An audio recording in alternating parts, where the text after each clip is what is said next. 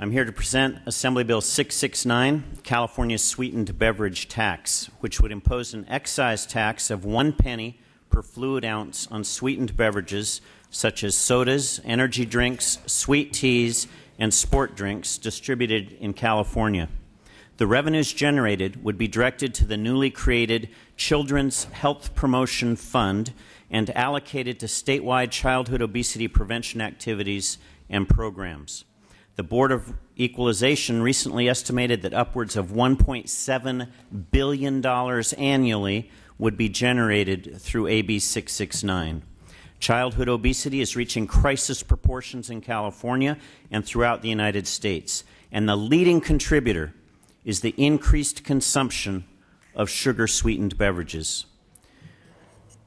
Mr. Chair, might I demonstrate uh, briefly here with just an exhibit I have? Uh, this is a standard 20 fluid ounce uh, uh, bottle of soda.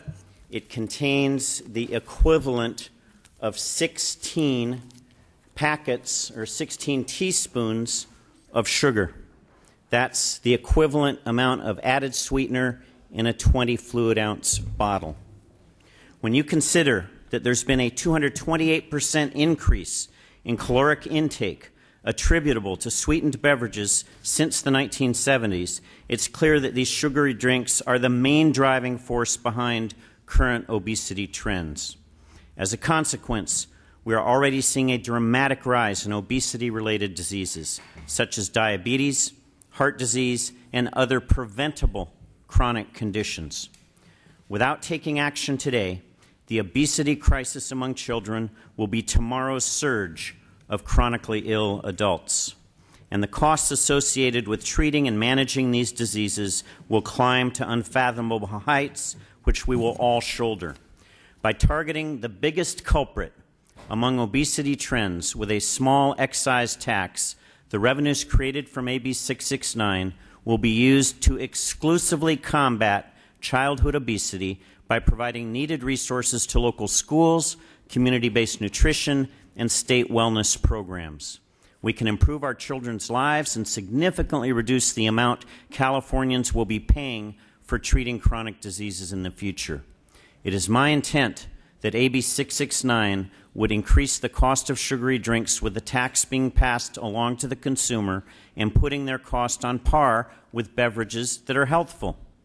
By increasing the cost of sugary drinks, my ultimate goal is to change the behavior of those consuming these beverages, similar to what has been achieved through the implementation of increased taxes on cigarettes. Additionally, the dedicated funding source for comprehensive childhood obesity prevention is intended to be similar to how California's tax on cigarette funds uh, leads to important abatement efforts. With money collected from the sweetened beverage tax, we will be able to start reversing obesity trends and do the things we know we should be doing to ensure that our children are healthy. We cannot afford to sit by while the childhood obesity crisis overwhelms our healthcare system and shortens our children's lives. We are all paying the costs of bad health trends in our state. We need to take action. A tax on sugary drinks is not a cure all, but it can be a valuable tool in a broader public health campaign.